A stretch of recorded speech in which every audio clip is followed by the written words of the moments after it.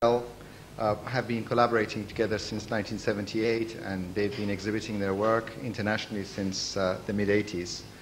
Um, it's clear that their work doesn't really fit into any kind of single uh, category, any one discipline, but uh, rather crosses uh, simultaneously the boundaries between sculpture, painting, architecture, furniture. Um, in their, I suppose they call it models, but they're, in one sense, kind of things, uh, precise things that refer to uh, uh, the, the world of places, structures, places that we inhabit. These uh, constructs are often made in uh, either black, white, or monochrome uh, color. And it's the color of these models and their precision that really resists traditional forms of representation by allowing a space to exist between these objects and uh, the, the conditions that they, that they question. And I think this, this notion of, of questioning uh, seems to be a very important part of uh, the, way in which, uh, the way in which they work. Uh, they have uh, obviously exhibited throughout the world at the British Museum. Um, their work is, um, exists at the Centre for British Art, at the UK Government Collection, at the Saatchi Collection, and the Scottish National Gallery of Modern Art, Tate Gallery, the V&A, uh, all hold uh, a collection of their work. Uh, some of their recent exhibitions have been at the Serpentine Gallery, uh, the Museum of Modern Art, Venice Biennale, Royal Academy of Art, the Henry Moore Institute, and the, uh, more recently the Central House of the Artist in Moscow in the year 2000. Um, I think also last year, uh, Bell uh, won a commission uh, for the Sunderland Gateway uh, project, which I hope we'll get to see somehow as part of uh, tonight's uh, presentation. We're also fortunate that Richard Cork is here, and um, there will be, in a sense, a, kind of discussion, and conversation going on first before we have also um, a discussion with all of us. Uh, I'm sure uh, you're all familiar with uh, Richard's work. He's the chief art critic of the Times. Uh, he did uh, art history at Cambridge and uh, also completed his doctorate there in the late 70s. one of his early books, which was also, I think, the subject of his PhD, it was on vorticism and was awarded the John Llewellyn Rhys Prize in 1976. Uh, he then went on to write such books as The Social Role of Art in 1979, Art Beyond the Gallery, uh, David Bomberg in 1987, um, a number of other books, but more recently uh, he has completed a, a, book on Jacob Epstein in 1999, and he's working on a his recent history of British sculpture in the 20th century. Would you please welcome Langlands Bell and Richard Cork.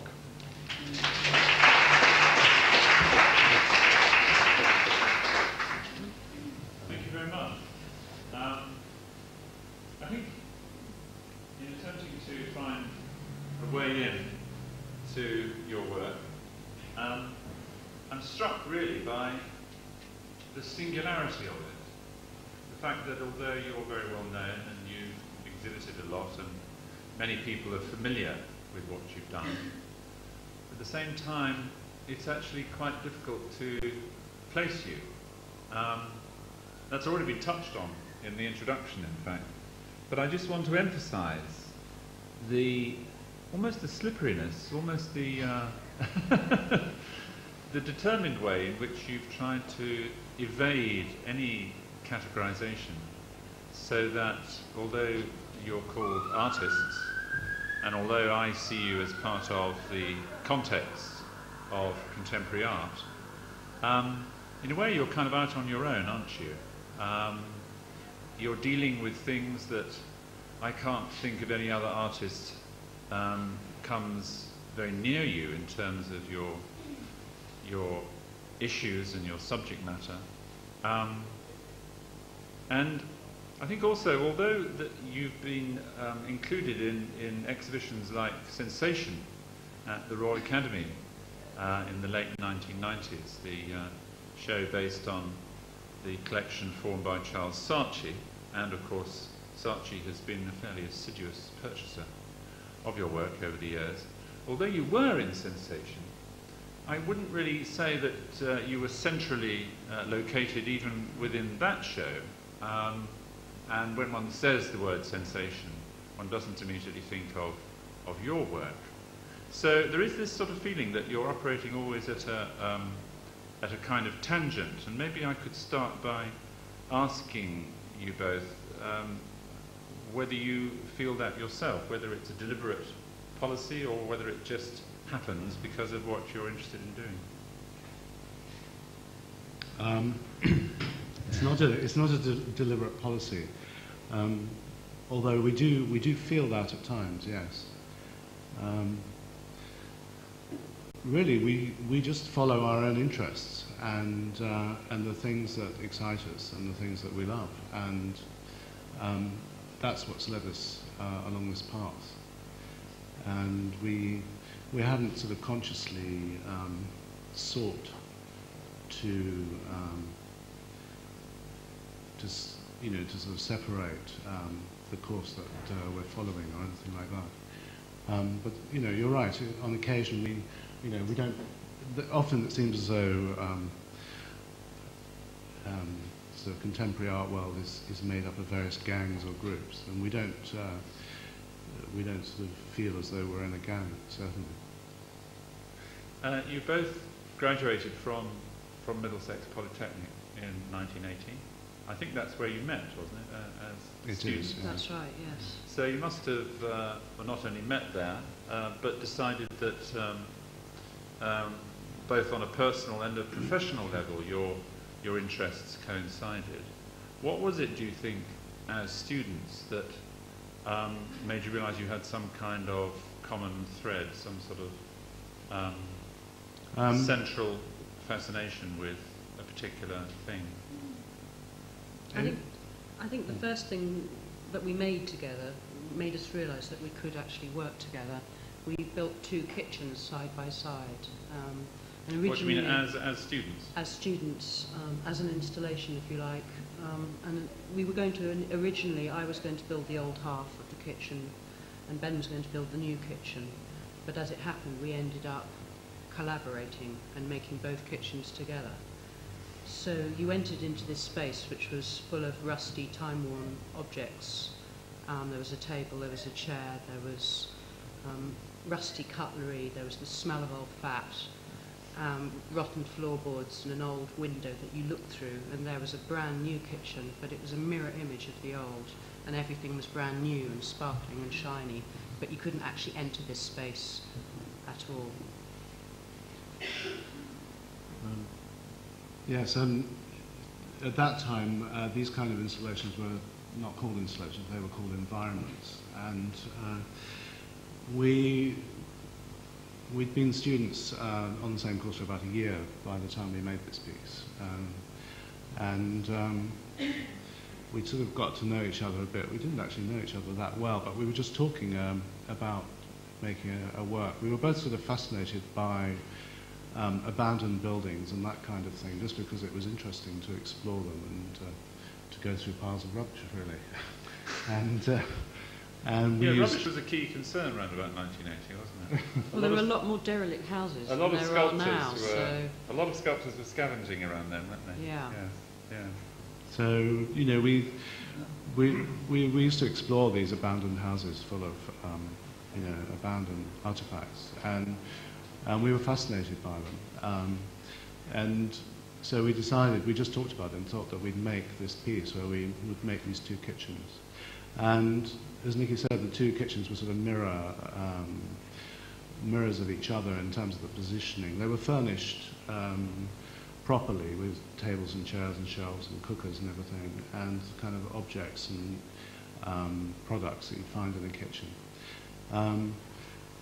And the objects in the new kitchen were no intrinsically uh, no better than the objects in the old kitchen, but you couldn't enter the new kitchen. You could only stand in the old kitchen and, and look through the window into it. Um, And why was the new kitchen unattainable? Well, partly um, from practical reasons, because we decided to, to light it with light uh, from projectors projected through prisms. And we didn't want people to go into it because that would begin to disturb the, the kind of aura of, um, of wonder that we'd created, if you like, with this light. The, the shelves in the new kitchen were made out of glass and mirror, and so the light uh, sort of ran through them and bounced off them. And um, we wanted it to be, you know, to have an element of mystery. Mm. Mm. Well, in that respect, in terms of that and the and the uh, what you describe as the aura of wonder, and certainly the use of light, uh, that sounds like a pretty prophetic work, doesn't it, in terms of what you went on to do afterwards? The unattainability is interesting too to me because um, whatever perhaps sociological comment it might have carried. Um, there's also something about your subsequent work which is strangely uh, remote in a way, isn't it? Kind of removed um, from the immediate experience of seeing a building. Somehow it's a different order of experience, isn't it? It's, uh, it's something that you, you, you take away the kind of visceral impact of going up to a building that's rearing in front of you, and you present us instead with a, with a quite different kind of experience. Can you talk a little about how your approach to that experience of a building evolved? Um, it's difficult to say um, objectively for us, but um, I think you know when we were working with uh, making works like the kitchen and other works around that time which followed it, um, we were very keen to make works which had brought with them their own kind of context, so that they weren't wholly reliant in immediate terms on the context in which they were being exhibited or viewed or encountered. We were trying to set up a whole situation in which they could be viewed. Um, and in time, I think, you know, maybe we've, in time we, we sort of explored various aspects of it and, you know, we started to move on. And we, in order to survive as uh, students and soon after leaving college, we actually used to uh, restore buildings for people. And um, we started working with, as we got more competence of, of this, we were given plans by people and we had to work to plans. So that was the first time we actually really started to read architectural drawings and to look at buildings in that way. And then we also started to make uh, models, um, architectural sketch, sketch models for architects, um, as a way purely of earning money. But as soon as we did, even after, we, as soon as we made the first model, we realized that it had a very kind of exciting potential. Um, both formally and aesthetically, but also for, if you like, sort of telling a story somehow. And, and I think it, this all sort of happened at the same time, and we began to find, to look for ways to include this in our work. And uh, so that's how it came about, I think speaking. also, I think also that you know not everyone can read a plan, but everyone can understand a model. So by turning it into three dimensions, you're almost revealing structures which normally aren't seen from that viewpoint. So in a way, we, we were almost discovering, as we were making them, entire buildings and, and, and viewpoints that you don't normally have when you enter a building.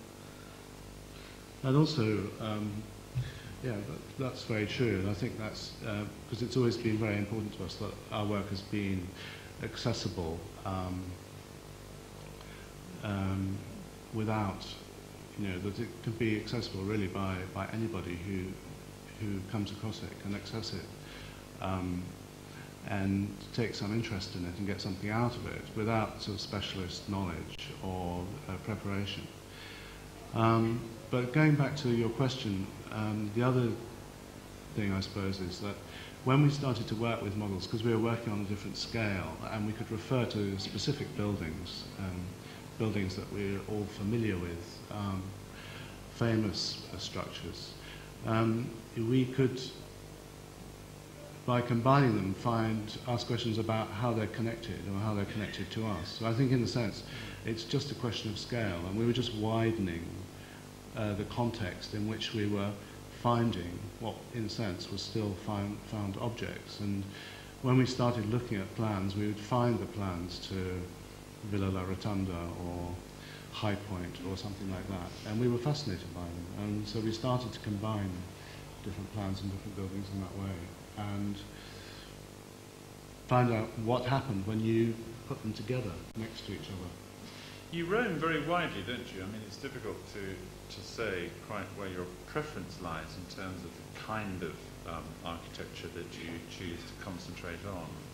Um, but there does seem to be a, a pretty consistent fascination running through the output that you've produced with um, notions of, of, of power and control. I mean, I don't want to overstate it, but I think that quite a few of the structures uh, that you present for our inspection turn out, especially when one digs into them and finds out a bit more, um, they turn out to be um, highly manipulative in terms of what they do to the people who occupy them. Um, is that one of your central concerns, do you think?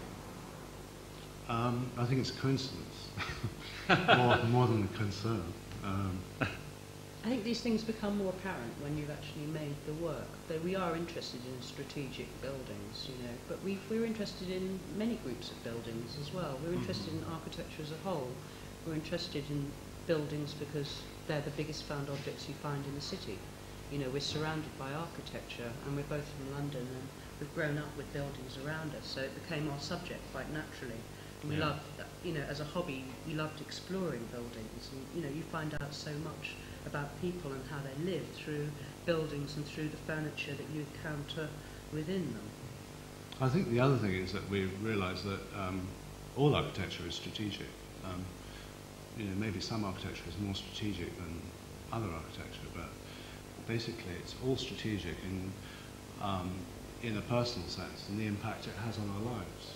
And uh, so I think we feel that very strongly, and I think that's inevitable.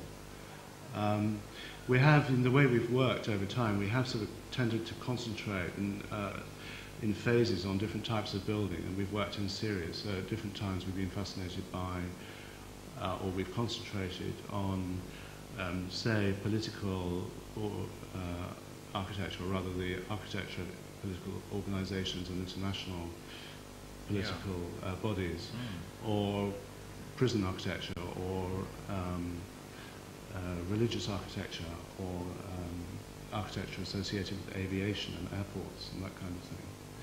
So at different times we've sort of honed in on that and, and concentrated on it and made numerous works in, in a group or in a series, a lot of which, a lot of the works are consciously sort of connected in a way, not in a didactic way, but um, they're linked by the route we've taken by choosing different buildings and or, or different other elements to combine with them. Sometimes they seem almost subversive, your, your, your choice of subject. I'm thinking in particular of a wonderful piece you did on the, uh, the building that formerly occupied the site of uh, Tate Millbank. Um, it was a penitentiary, wasn't it, in the 19th century? Uh, a rather extraordinary building too, I think. Mm, it's shaped like a, a giant flower. Yes. with these amazing sort of radiant petals um, where people are actually segregated according to different, whether you're a debtor or whether you're a, a female or a male or, you know, it's all sort of categorized and very rational. Yeah. And we were sort of struck immediately by just the shape of the plan, which seemed so beautiful, and yet it was a prison, you know. And the irony is both buildings, uh, the art gallery and the prison, um, they have quite a lot of quite a lot of links in, uh, in some ways. Um, you know, both, both buildings are, particularly that prison, because it was a sort of panopticon um, combined with a radial prison, and at that time, um, people were thinking in a very serious way about how prisons should be designed and, and organised and how they would work. And um, so the prison, it was then formulated in a very specific way that prisons should be about observation and surveillance. And of course, an art gallery is also predicated on uh, observation. Um, so both buildings are about, in many ways, about, about looking, containing and observing. Uh, well, that's quite an, a crude analogy, but it does, it still works. Um, and also both buildings are in many ways about integrating people uh, socially in, in sort of larger social norms and values and enshrining what society's values are and, and defining them. and ensuring that people conform to them. So there are quite a lot of links. Um, and also, um, Millbank was the prison from which um, it was the main prison in London for transporting uh, people to the penal colonies and for periods of uh, enforced labour. Uh, and of course, uh, the Tate fortune was built up um, uh, with a lot of uh, plantation labour. I don't know that much about it, but certainly the sugar fortunes were built up with plantation labour in, in the West Indies. So there are quite a lot of links, actually. Yes, and I do think that you're one of these artists who, you know, the more you dig into the work, the more you find out about it, um, the more fascinating it becomes. It's certainly not a case of uh, the kind of work which you see in a gallery and, and after five minutes you're, you're getting bored. I mean, how, how satisfied would you be if um, people simply glanced at your work and saw it, I, I don't know, from an aesthetic point of view, rather than finding out about what it actually did represent. I mean, how important is it to you to feel that people understand that it really was the Tate Penitentiary rather than some wonderful um, leaf-like, petal-like Victorian plan? I don't think we'd mind at all. I mean, in a way, that's how how we started making our work initially. Um, we were fascinated uh, by buildings, and um, you know, we, you know, you know, we we we love the subject. We love the material that we work with. We're fascinated by it, and it's a kind of journey of exploration in many ways. And a lot of our works start off with um, they begin with you know our, our attention is just caught by a formal uh, element or a typology or or some other attribute of a plan or a building, and really it's a journey of investigation and discovery. So, I mean, we don't mind at all if people uh, just view it in that way. That's entirely up to them. Uh, but, you know, nothing, hopefully nothing stays the same or static, you know, thing. People's interests can change. Another way in which you differ from a lot of contemporary art um, is the aspect of your work which is um, well made.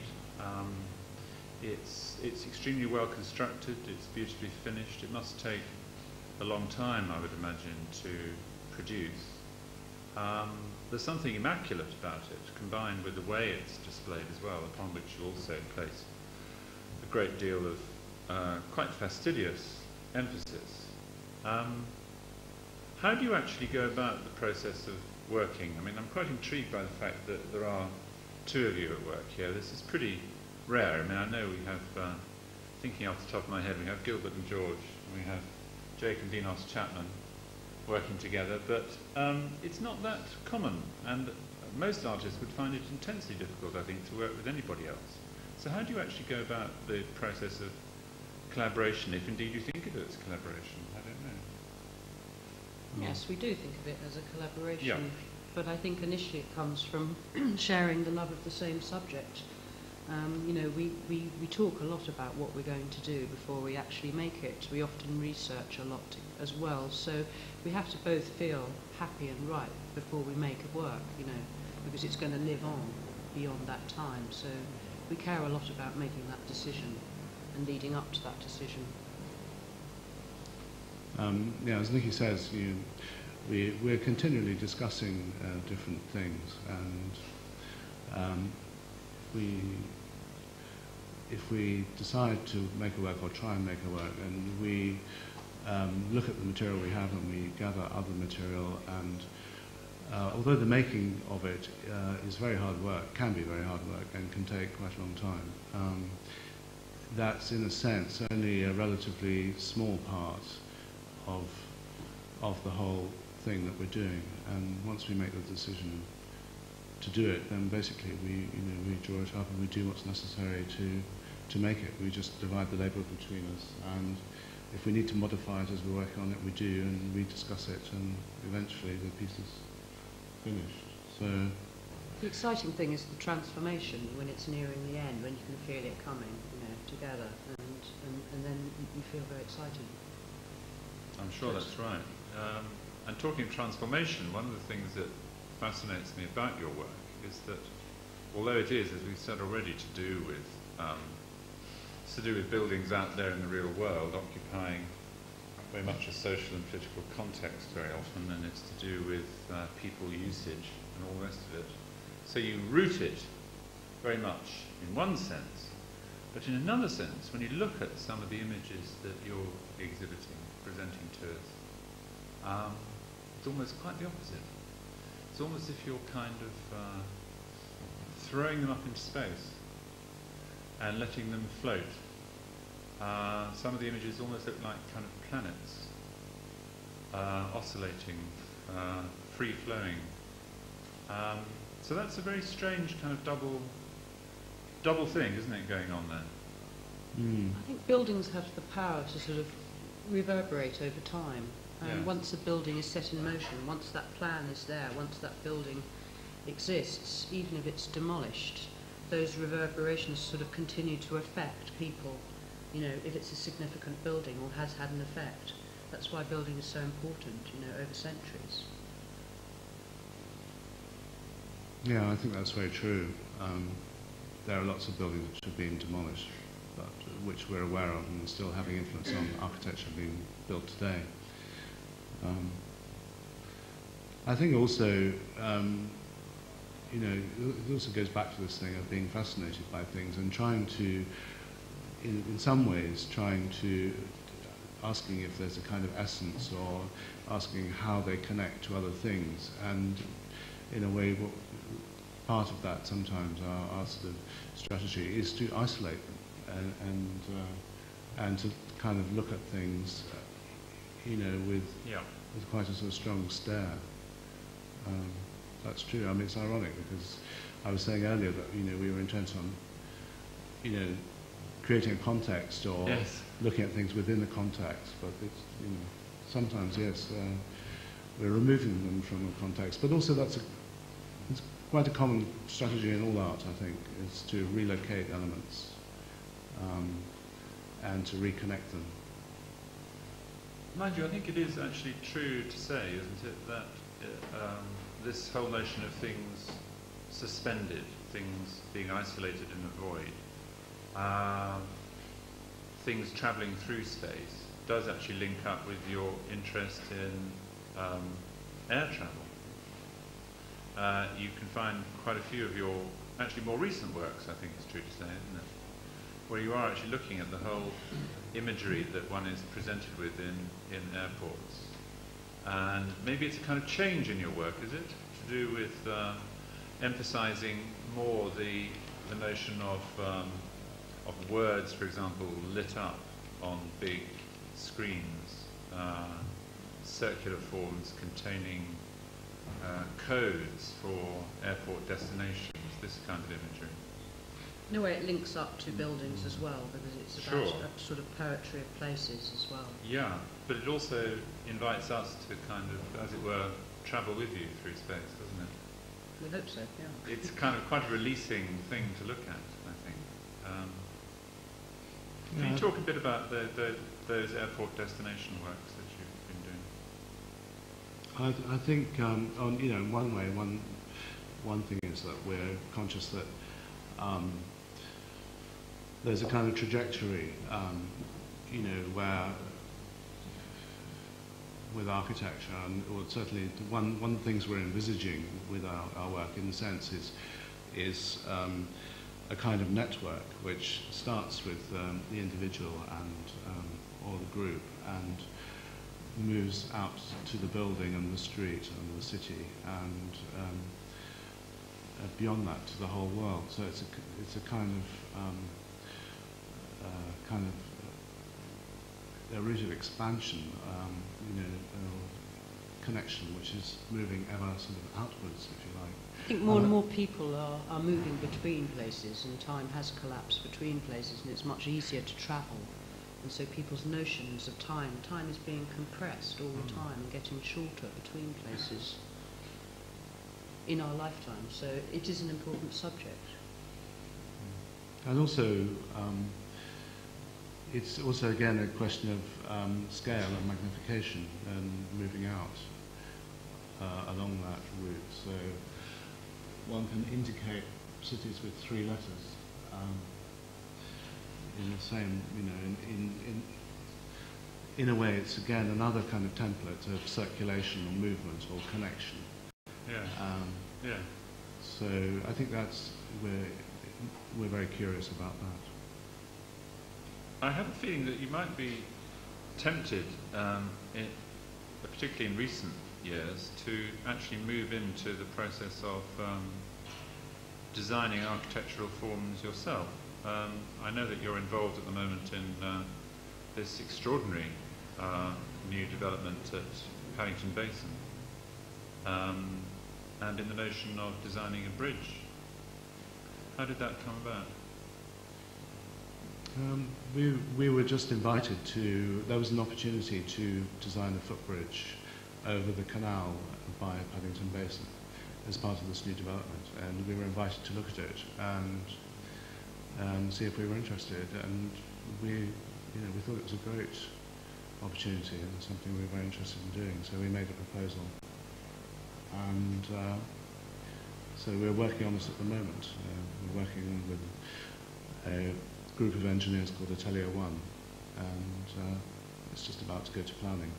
At the end of this sequence, there are two or three slides of the uh, uh, maquettes for the scheme.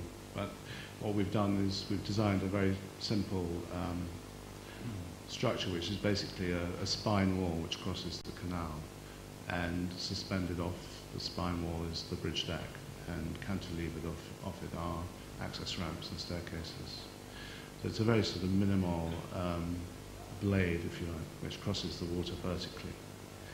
And it's, in a way, it's quite, it's, it's steel framed, um, clad with glass. And in a way, it's quite, in a sense, quite monumental, but in a sort of transparent kind of way. What do you think that you as, as artists can do uh, with a commission for a footbridge that an architect maybe wouldn't think of doing?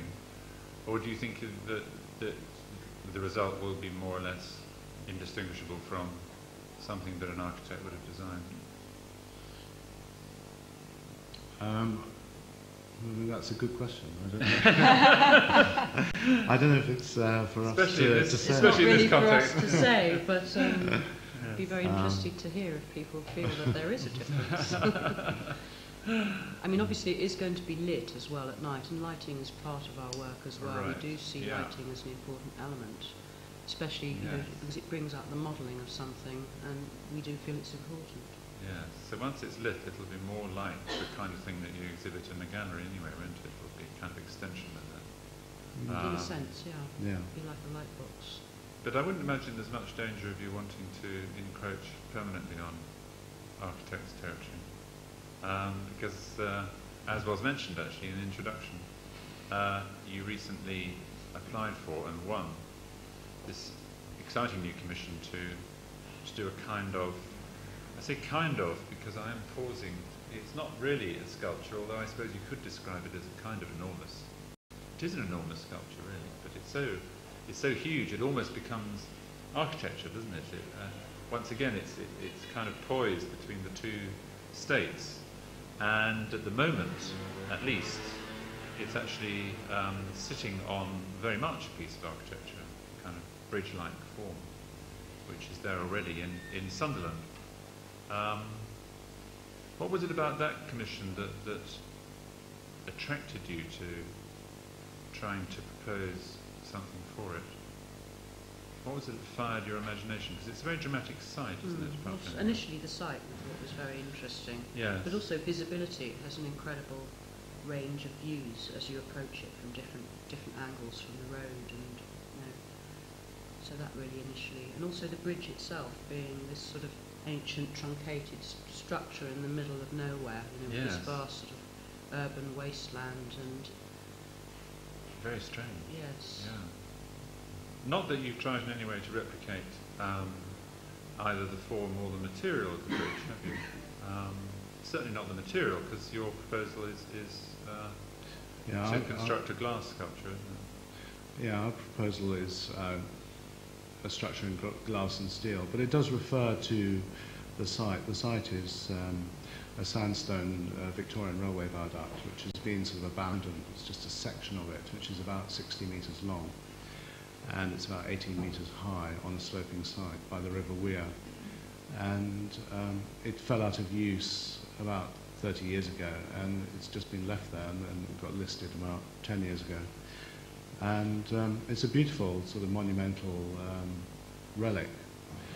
And uh, the sculpture that we've proposed for it is uh, the, well, the viaduct, of course, is made up of a series of arches which support a deck on which these uh, trains used to run. And we've proposed uh, a, a sort of screen or row of four arches, uh, but they're flat arches um, made in glass with a steel frame. And they're sort of, I don't know quite how to describe it, the, the columns of the arches, the posts, are set at 45 degree angles off the um, sort of horizontal plane, uh, alter, alternating, and so are the beams, and so they have a, it makes a kind of prismatic um, arrangement of planes. And the idea is that it's actually be made out of semi-transparent uh, mirror, so it will be alternately reflective and transparent. So, So, will because it's a screen of arches, it does refer to the site, but, but at the same time it's very different. Yeah, and one thing that fascinates me about it is that although when constructed it will be in one sense quite a, a dominant object, I mean it's a, it's a big thing, um, at the same time it, it, it, uh, it's not at all oppressive because it is for one thing luminous and it is for another thing not uh, conventionally solid in the way that a lot of monumental sculpture is. Was this part of your Yeah, thinking? that you wanted part to get away thinking, yeah. from uh, Yeah. Heavy monumentality. Glass is always a material that we've used a lot in our work and which we like a lot. And um, we discovered actually that glass um, in Britain originated first in Sunderland. The first glass was actually found there. So it was a sort of a natural material to use as opposed to the brick below. Absolutely. Yeah. We ought also, I think, to talk about furniture because that's another key element in a lot of your installations. Uh, whether it's chairs, whether it's tables, um, whether it's actually kind of curious amalgams of the two. Uh, uh, chairs that seem to extend into space so that they almost become, well, not tables so much as uh, structures in their own right, occupying quite a lot of space sometimes. Um, chairs that sometimes uh, fuse together or become like kind of uh, bipolar images. Uh, there's a lot of concern, isn't there, running through quite a lot of your work over, I think, quite a long period to do with furniture. How did that originate? It originated in these um, found environments um, Yes. that we would reconstruct, where we'd find abandoned furniture. I think it originated there, but then um, Furniture sort of mediates between the body and the building and is such a sort of fundamental aspect that it was something that we wanted to develop. You know, when we first moved to the East End, we were living in the basement of a tenement flat and the only work surface we had was this table. So we started making books on the table, you know, and that was the sort of the beginning. But it is an essential, a table and a chair is, is, is what you start off from, you know, in your space. Yes. And furniture, um, in a way, when you discover furniture in a building, you, it, it records a lot about the way the building is used. So if you go into a room and uh, the room might be empty of people, but um, the way the furniture in the room is arranged will say a lot about how the, the room is normally used. And, and of course that carries on into public buildings. It's very explicit there. So um, we've done quite a lot of work where we've looked at that. I mean, that's something that we've uh, been uh, fascinated by. Sometimes they're quite disconcerting, aren't they? Uh, I'm, uh, I'm thinking in particular of, of the, the IMF table, uh, the table where the IMF hold their doubtless deeply alarming conferences about the state of The um, world, negotiating table. world economy, exactly. like something out of Doctor Strangelove, I thought. Yes. Yeah. Yeah. We love the shape of the table as well, because it's got such an extraordinary shape, and we I were can well imagine. Fascinated by the fact that it was open at one end, and why this was, and was it significant. But then we found out that it was to let the, the lady in with the tea trolley to give the delegates their tea. Another way in which you're developing is, is to do with, uh, I mean, you've always been interested in installations, but in recent times you've actually been penetrating space in a more dramatic way, haven't you? Leading elements through round corners, uh, inside tunnels. So you're presenting the viewer with something much more difficult to pin down even than before. I think we're getting more sort of physically involved in the space. You are, aren't you? And we're quite excited about sort of making transformations of spaces at the moment, which you physically enter. So that's another aspect which we're, which we're developing really right now. And do you think you're getting more more interested in a tactile experience as well, maybe, of Yeah. actually shoving people up against the, the, the physical actuality of the work that you're producing? Yeah, I think I think in a way we are. Yeah. So does that mean you're getting less removed, maybe? What and more involved? Or? Well, I well, I don't know. What do you think? What do you think? I think when we when, when we started uh, working together and when we started making um, this work in the um, say early mid 1980s, Yeah. um, which sort of crystallized in this way where we were working with models and this furniture that we were making ourselves. Um, we were very um, determined that it should that it should be non-utilitarian in you know non utilitarian way, so that you know the chairs shouldn't be sat on and the tables shouldn't be eaten off or um, or used in that way, and that um, everything was uh, you know uh, for contemplation um, only, and we were very determined about that.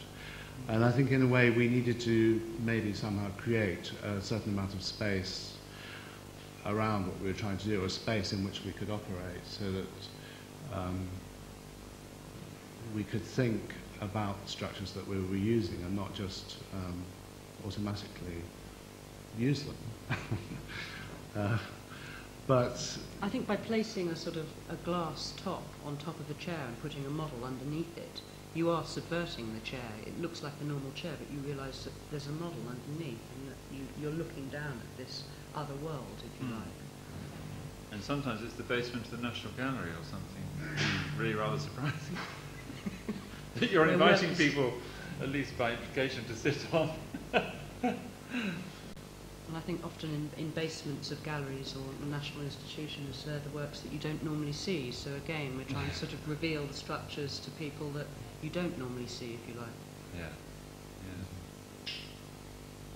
yeah. yeah. anyway, maybe we're more more relaxed about it now, and, um, and more interested to make things which which we can all use. So if you were invited by the AA to, to fill the, the corridors and even the, the rooms, even the lecture hall with some gigantic uh, form, you wouldn't necessarily turn it down out of hand. No. No.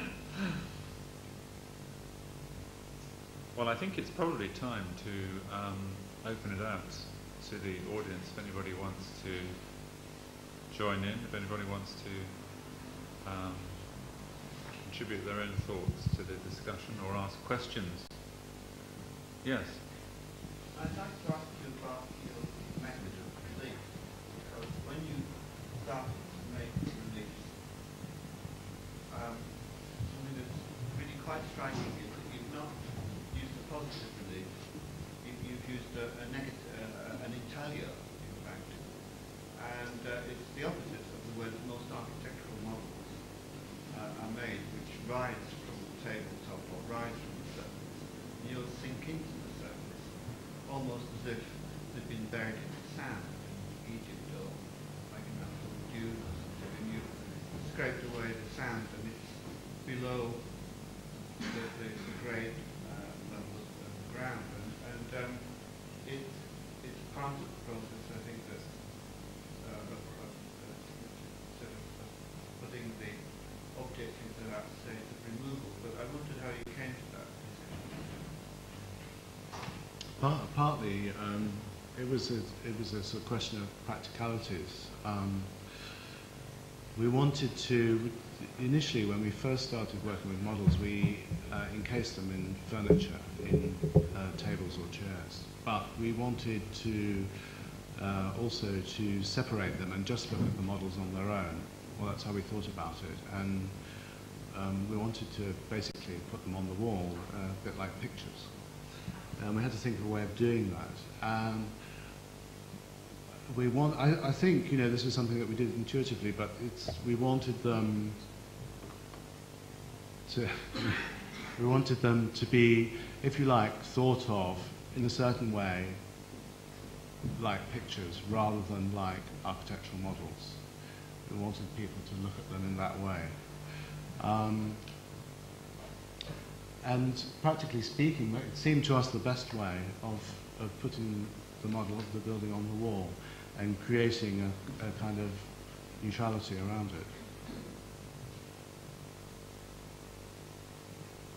I think it also allowed us to concentrate on the, in a way, on the sort of typology of the, of the building structure, rather than for the building to be seen as um, a model of a building. I think in a way we, we felt we were sort of representing um, the identity. We weren't making a model of the Colosseum. We were saying, this is the Colosseum. Um, you know, we're, you know, we were representing a, a sign for it. We weren't trying to make a model of, of a piece of architecture. I don't know if that makes any sense, but Often the links between buildings as well, you know, across time is quite important and that, that also affects how we display the works or the models in particular.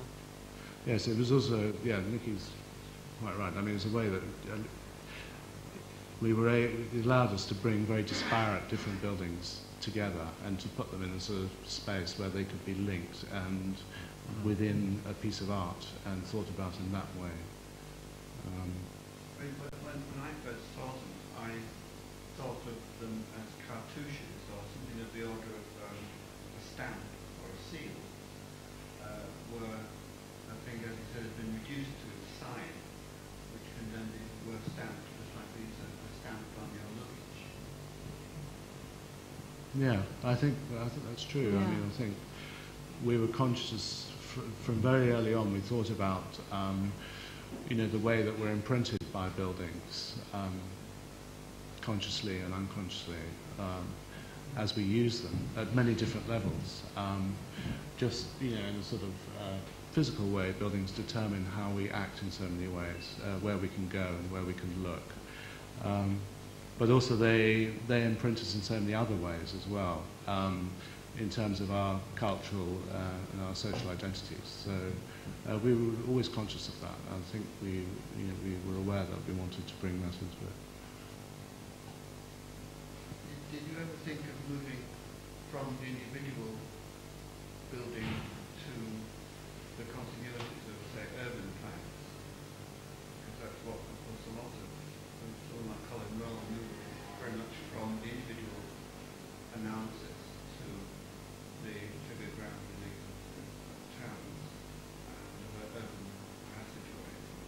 We have made works, you know, which do actually concentrate on whole universes, if you like, whole towns, like Ivrea, this work that we made, um, which is based on the Olivetti hilltop town, which is owned by Olivetti, and um, the whole company, you know, it started off as a small village and it's now a vast town, and all your needs are catered for there. You know, there's an art gallery, headquarters buildings, managers' housing, and all this workers' housing, and um, you need you need never leave. You know, um, you can live and die there if you want to.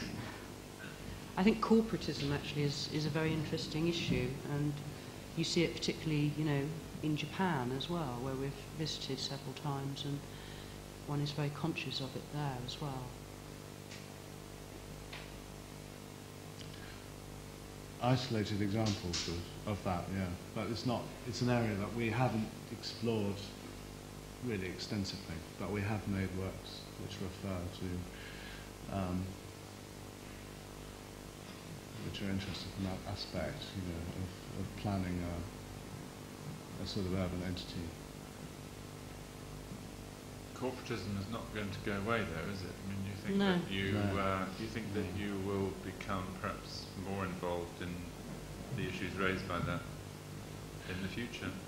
I think inevitably, you know, one is affected by what's around you, so Yes, I'm sure yeah. I'm sure it will have an effect. Yeah, And you certainly do like Japan, don't you, for other reasons?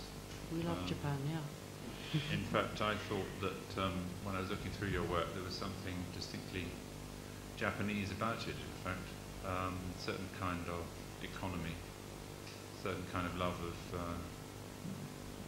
uh, conciseness, um, and even this this sense of something purged and, and very clean cut, which you like, don't you? Um, you could locate that in a Japanese sense as well, maybe. Um, but having said that, of course, uh, the, the Japanese influence has spread through so much Western art, especially during the course of the 20th century, Yeah. that you're not alone in that, are you? I mean, do, you, uh, do you find yourselves perhaps, um, when you look at other artists, that you're drawn to that kind of art, the kind of art that may well have been, you know, turned on by Hokusai or whatever? Um, not especially. I mean, we're, we're conscious that, uh, although we don't know that much about it, um, formally speaking, but we're conscious of the enormous influence um, and uh, the, or the sort of, and the very big recognition in modernism of of, uh, of Japanese art and architecture.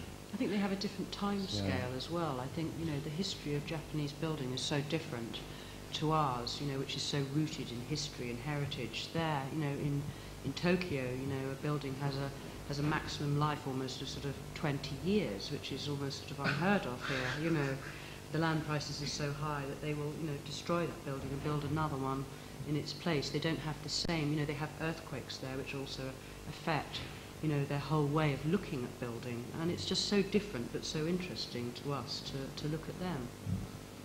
So you have been influenced by by the whole Japanese I way think of subliminally, yes. handling things. Yes, definitely. Yeah, yeah. yeah. Mm. I think I think we we feel um, quite a strong um, personal connection to um, sort of geometric uh, abstraction and design in the 20th century, and of, and of course that's been very influenced by uh, uh, by an awareness of Japanese art and architecture. So, you know, we're aware you know, we're aware of it also in that way. And also the Japanese, you know, respond to and aren't afraid of beauty, for instance, and that's that's interesting as well, because I feel here probably there is more fear of that, you know. An You artist we, is a um, messy, dirty thing, you know. Oh, you know. think we shy away from beauty? Yeah. I think so. a I little think bit, you're probably yeah. true. Yeah, that's probably actually something that we're often criticised for, um, or people often refer to. Um, Oh, did they? What did they say? well, they re- uh, people sort of remark Yeah. um, that it's, you know, that it's how you described it. You know, that it's often that our work is um, appears purged or detached or, um, you know, precise. And uh, some people think that art shouldn't be like that. Um, but But actually, you know, we put a lot of love into it as well, and a lot of emotion. So, although it might appear that when you enter it, actually, it's quite humane. Absolutely. Yeah. So basically, there are no rules. Art can be what you want it to be. Absolutely. Yes. Yes. Um, it's a question a bit about scale and, and it's Hmm. possibly I don't know, either fortuitous or intentional point at which you left the gallery, let's say at the start of doing work outside the gallery. Um, I think as a, as a trained architect, or whatever, um, seeing the, the, the early works, um, I think architects are quite they're quite visceral because what you do is you invert the kind of, you've mentioned it before, you, by turning into design, you invert the, the kind of power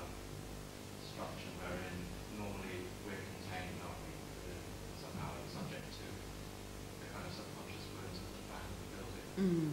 um, by turning it into a picture, by dis- dislocating it, you turn it into a sign that I then have some kind of control over.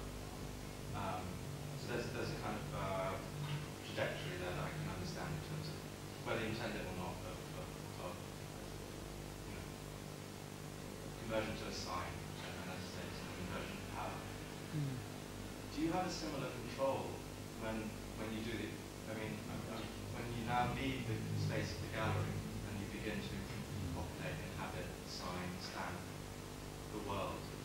Um, how do you make those decisions now in terms of scale and, and those issues then with embedded power structure, or indeed can you can you can you uh, reverse that process of, of signage or, or signing or disempowering um, into the, the world at large, or is it, is it an entirely different kind of context kind of way? I don't think it's an entirely different context. I think you have to look at each situation you're in um, as a new experience, as looking at that there and then, really. I mean, that's how we work. We work very intuitively, so our work is evolving, but, you know, we're still working in the gallery situation, but we're just trying to take it outside as well. You know, we're trying to do lots of things, actually, at the same time, if you like, because I think, you know, we are living in a very diverse world, and, um, you know, opportunities arise and they can be really interesting if you go for them. So, Yeah, I think it's a case of, you know, um, if you haven't done it, do it. You know, hmm. try and do it. It's- so, we, you know, in a sense, we don't know what will happen. But, um, Uh, what was the first permission you got to do something outside? well, um, we've done very little uh, outside the gallery, or, you know, the, the Sunderland Commission was the first thing, but it hasn't been built. uh, I think, is that right? Yeah. I mean, we, we're talking about the gallery in a fairly loose sense because we've made sculpture outside, but I, I suppose in a way it's still sculpture. Um, probably this bridge in Paddington will be the first thing, but it's again, it's not built yet. It's just going to planning now. So it's a process like, like art is, you know. You go through. But I agree. It's. I mean, for us, we do ask ourselves that precisely that question. You know, um, and we're just as curious about it as you are. We don't know what will happen.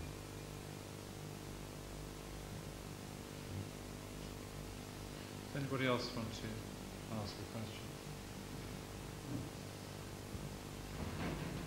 I wanted to ask you actually about, uh, you mentioned Ivrea, uh, which was, I think, the work that was shown in the Sensation exhibition.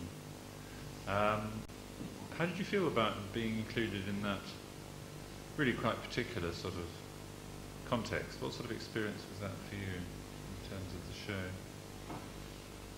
Well, I think Um, our it's a very work isn't complex experience. sensationalist, but we hope that it's quietly sensational.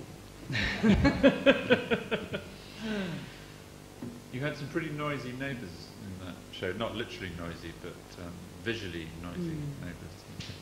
Yeah, I think that was interesting for us. I mean, um, I think the emphasis was more on the sensationalist um, aspect of, of work, so it was more louder. Louder work was the emphasis, generally speaking, in Sure, that show. But sure, we were yeah. happy to take part and you know to be there. So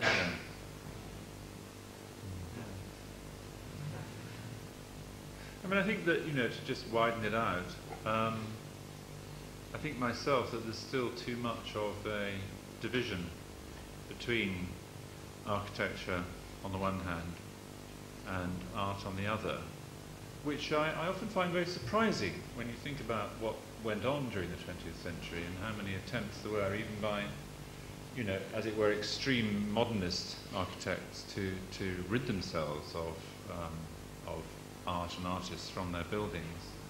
Um, even that kind of thinking um, uh, exhibited alongside uh, attempts like the Bauhaus to bring things together.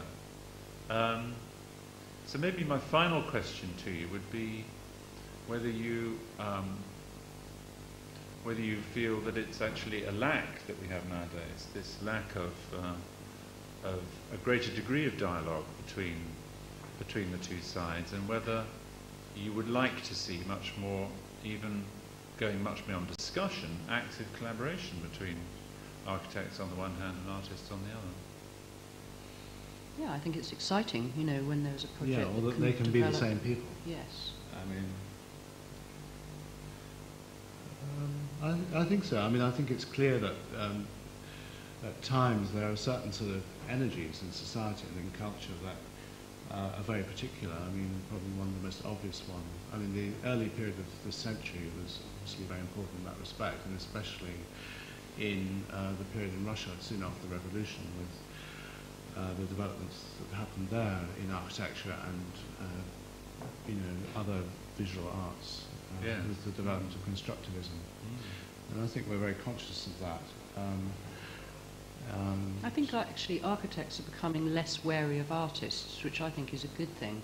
Because I think up until about 10 years ago, there was a real suspicion. People were very, you know, they, they, they looked down on artists in a way. They didn't want to include them. They were sort of tokens to be added to. Whereas now, Yeah, you they were know, too much trouble, really, it's absolutely, absolutely now they're thinking actually that, you know, they can actually work with them, that artists do have something to contribute and can come up and yeah, combine I with think it's often not the engineers and and and developers. No, but I mean it's a whole it's a whole process that you go about together, you know.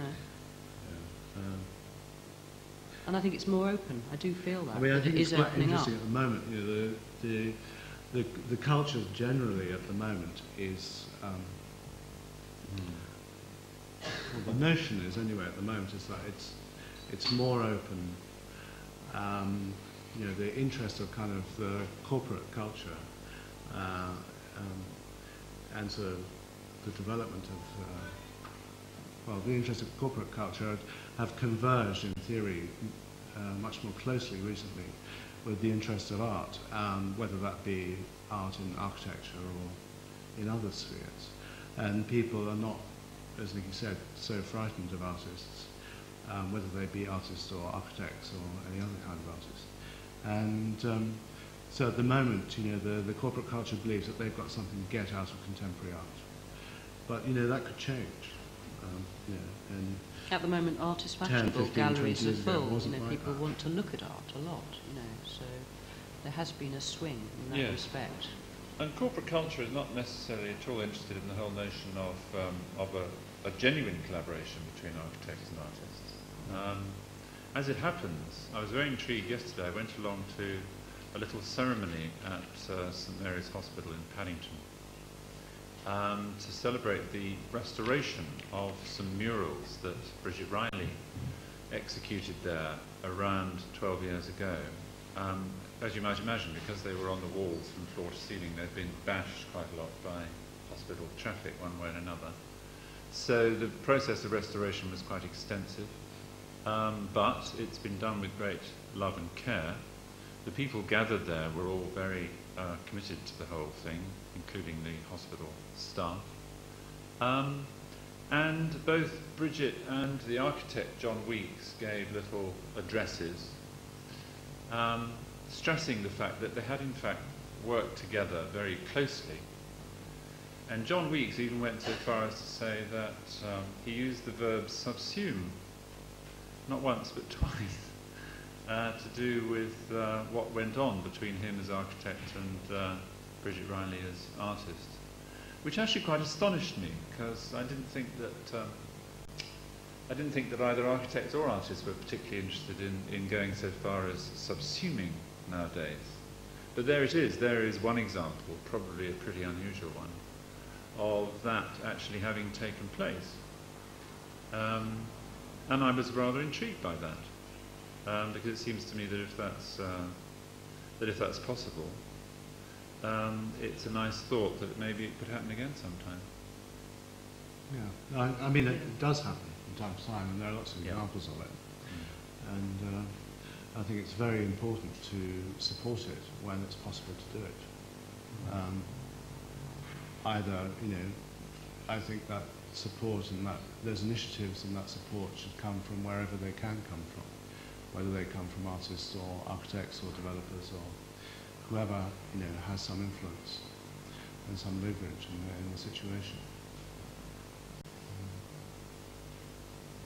Well, on that note, I think that's a very good point at which to, um, to end and to thank you both very much for um, dealing with all my, with all my questions. Well, thank Um, you very well, much. thank you. Thank you very much.